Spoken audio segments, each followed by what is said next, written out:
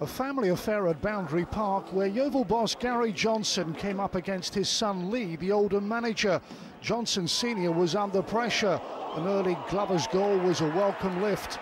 On loan, Stephen Arthurworrey claimed it. The Latics had lost just one of their last 15 league games, but they found themselves on the end of a convincing defeat.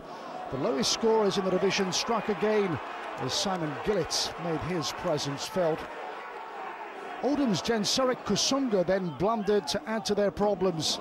Sam Hoskins accepted the invitation and the Latics were three down and had no answer.